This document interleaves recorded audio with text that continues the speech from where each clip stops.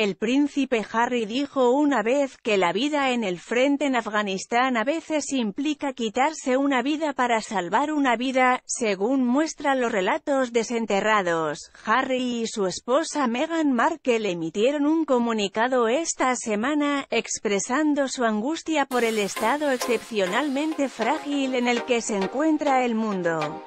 Punto. Dijeron que estaban sin palabras por la situación en Afganistán, que parece estar empeorando cada hora, después de el presidente estadounidense Joe Biden decidió retirar todas las tropas estadounidenses, poniendo fin a una presencia occidental de 20 años en el país.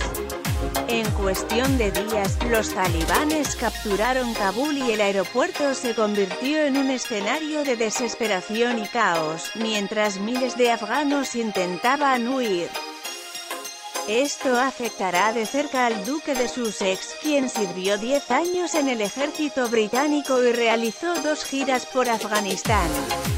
Él y Meghan escribieron en su sitio web Archewell cuando una persona o comunidad sufre, una parte de cada uno de nosotros lo hace con ellos, nos demos cuenta o no. Y aunque no estamos destinados a vivir en un estado de sufrimiento, nosotros como pueblo, estamos siendo condicionados para aceptarlo. Es fácil sentirnos impotentes pero podemos poner nuestros valores en acción. Juntos, esta declaración ha sido comparada con los comentarios que Harry hizo en el momento de su despliegue en Afganistán en 2013 cuando sirvió cuatro meses como copiloto en la provincia sureña de Helmand. Cuando se le preguntó en ese momento si había matado a insurgentes talibanes durante su segunda gira por el país, Harry admitió que sí.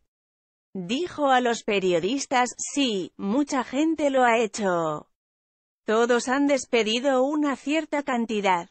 Admitió que a veces estaba justificado quitar una vida para salvar una vida. Hizo hincapié en que, si bien matar a los insurgentes talibanes puede haber resultado en última instancia ser parte del trabajo, no era su razonamiento para regresar. Harry continuó, nuestro trabajo aquí es asegurarnos de que los muchachos estén seguros en ese terreno y si eso significa disparar a alguien que les está disparando,